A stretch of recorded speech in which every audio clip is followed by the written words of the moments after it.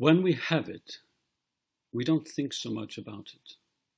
We can enjoy life, we can explore things, use our creativity and imagination, be with friends, learn new things. But when we don't have it, we don't think about anything else but getting it. I'm talking about health. It is what makes us able to take part in all the blessings life has to offer. Some of us are lucky. We were born in good health, or were born in countries or live in countries where we've good access to high quality health care. But not all of us are that privileged.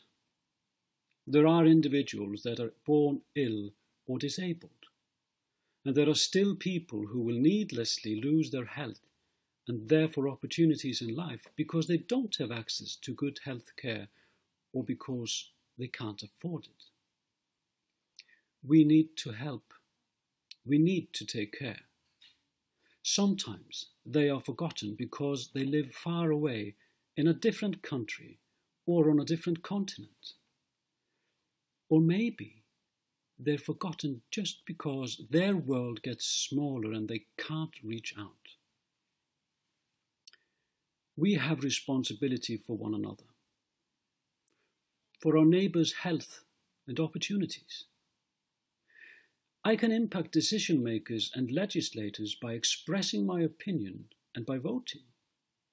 But I can also impact my society by taking care of my own health. And that way I can be a role model and I can teach people.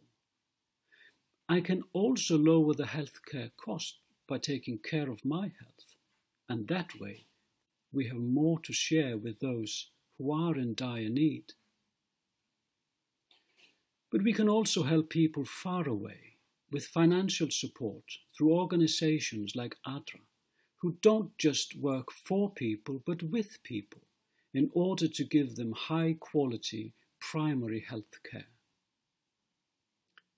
This is an act of love, which we so desperately need in this world. It is good to love, and it's good to be loved. Give someone better health with your act of love. Happy World Health Day.